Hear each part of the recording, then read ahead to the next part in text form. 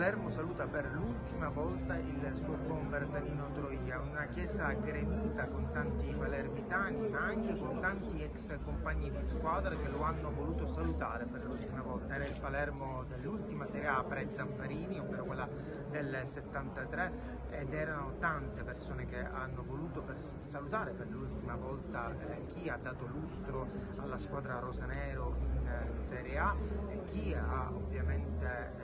un simbolo tuttora eh, di una palermitanità e della squadra rosanera. Questo è il saluto e l'omaggio